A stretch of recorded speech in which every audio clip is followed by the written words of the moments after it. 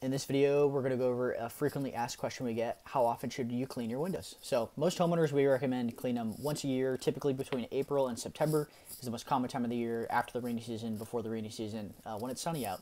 It's a good time to clean them off. Um, if you live near um, a dirt field or construction, your uh, area might have a lot more dirt and dust in the air. In, in that case, it might be uh, beneficial to get it done twice a year, towards the beginning of the year, April or so, and towards the end, maybe August.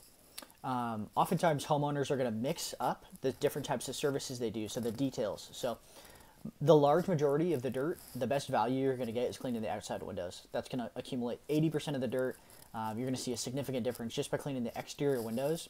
If you happen to be um, a little bit more meticulous and you want uh, a more deep cleaning, uh, we offer to do tracks and screens, other details as well. But if you want to have a more budget friendly option that's going to be a good value, you can do outsides once a year um, or primarily, and then insides or tracks occasionally.